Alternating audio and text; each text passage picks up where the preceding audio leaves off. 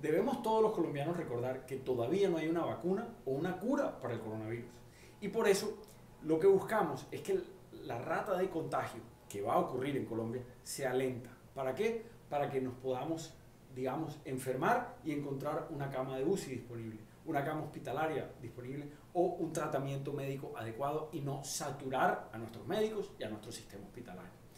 Hoy el presidente ha comprado dos semanas dentro del aislamiento para que luego, cuando él empiece a levantar las medidas en conjunto con alcaldes y gobernadores, pueda hacerlo estando más preparados. Eso significa más pruebas, eso significa más camas hospitalarias ya listas, un sistema médico más robusto y una ciudadanía más en tono con lo que se viene.